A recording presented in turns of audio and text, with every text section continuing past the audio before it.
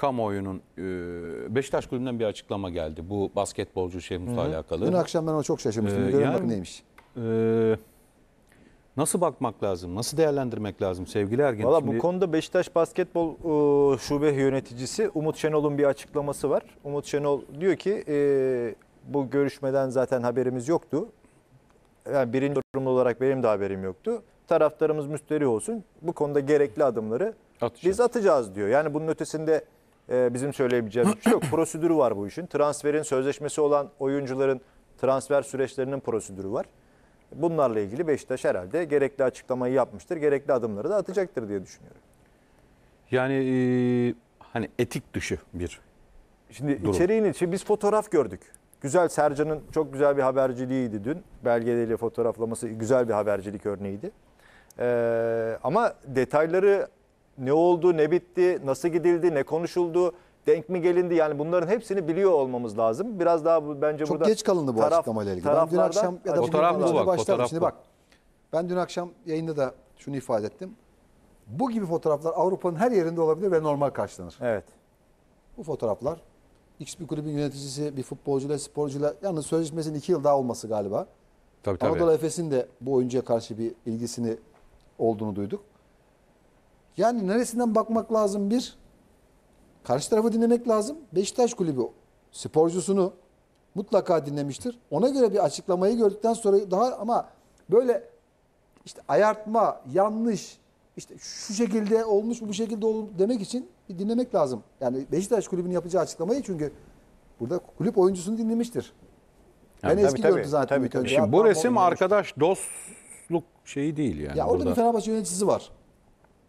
Ya Ama oyunculara bu ve benzeri Fenerbahçe'nin şeyler- ilgisi olduğunu da biliyoruz. Efes'in Efes e, Anadolu, Anadolu Efes'in Efes'in de ilgisi, olduğunu da olduğunu yani çünkü Beşiktaş bu sene basketbolda çok büyük iş yaptı. Yani o çocuklarla milli takıma da gönderdi. A- Acayip maçlar kazandı. Playoff'a kendini attı.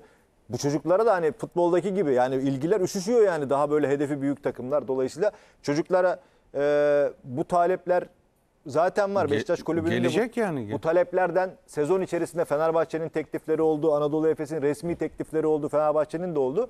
Bunlar oldu ama şu görüşmeyle ilgili biz beyanı esas kabul etmek zorundayız. Tabii, tabii, tabii. Beyanda ne diyor? Beşiktaş basketbol yöneticisi Umut Şenol diyor ki benim hani bizim bu konuda e, bir şeyimiz yoktu, bilgimiz yoktu. Gerekli adımları atacağız Bu dün diyor. akşamki açıklama ama.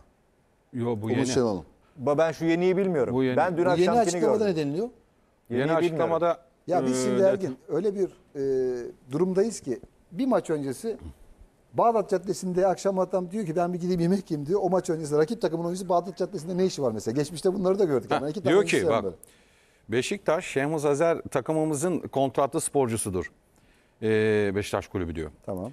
Sporcumuz veya menajeri iznimiz olmadan gelebilecek transfer teklifleri doğrultusunda görüşme yapamaz.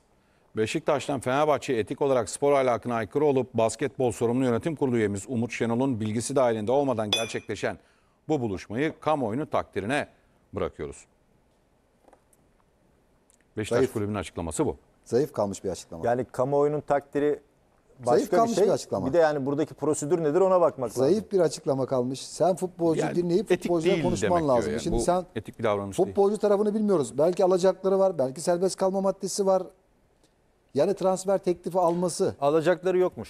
Hiçbir basketbolcunun alacağı yokmuş. O Bu da Umut açıklamanın- Şenol'un beyanı. O açıklamanın içine kamuoyunun takdirine bırakıyoruz diyerekten karşı tarafı suçluyorsunuz. Futbolcuyu, şey, e, sporcuyu, basketbolcuyu ve Fenerbahçe yönetimi adına orada bulunan kişiyi. Yani kamuoyunun takdirine bırakıyoruz değil. Ya sporcunla konuşacaksın ya neden oradasın, niçin oradasın? Onun karşılığında bir açıklama beklerdim açıkçası. Bilmiyorum Ama sen işte bu yani Beşiktaş kulübü de her oyuncusunun başına bir bekçi dikemez ki yani. bak şunu söylemek istiyorum. O bir görüştüyse Şu Beşiktaş kulübü de etik dün kurallar. akşam biz bu olayı öğrendik. Belki bir gün öncekiydi. Belki de dün akşam sıcak bir e, resimdi. Ama neredeyse 24 saat geçmiş. Bunun üzerine yapılan açıklama spor kamuoyunun takdirine bırakıyoruz. Doğru değil diyor, diyor yani. Ya Burada doğru- Fenerbahçe etik dışı davranmıştır diyor. Şimdi Öyle demiyor mu? Bu aynı olay Sence? futbol takımında Beşiktaş'ın sözleşmeli bir oyuncusu. Kim olsun? Ya da Galatasaray'ın. Taylan Antalya.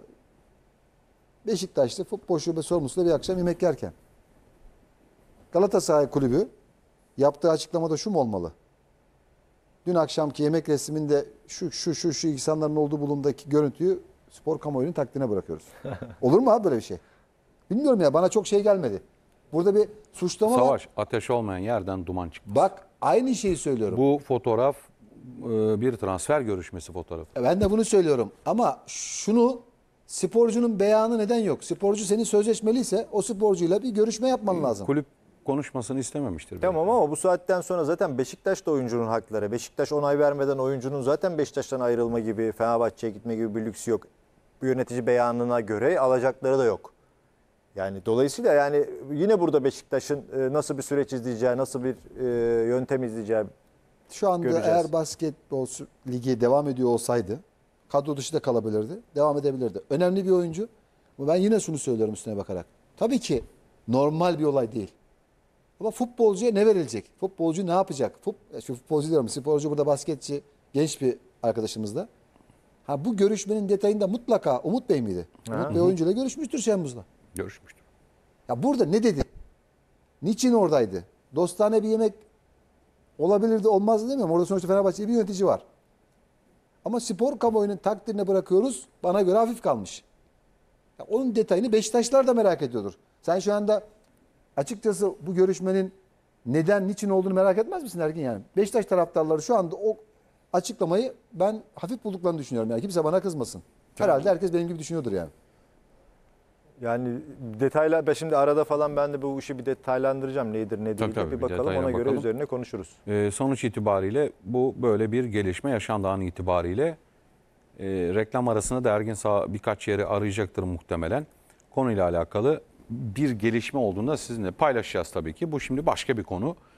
Yani sonuç itibariyle e, diyorsun ki Galatasaray'da durum bundan ibaret. Ee, transfer- Galatasaray taraftarı beklenen transferleri görecek mi sevgili Savaş? O 10 numaralar işte Falcao'nun satışı ya da bir başka oyuncu.